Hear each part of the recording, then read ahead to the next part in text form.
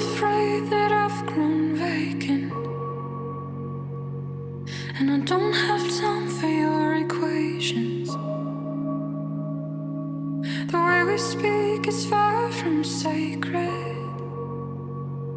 You say our minds no longer parallel, but I swear I'll try to save this.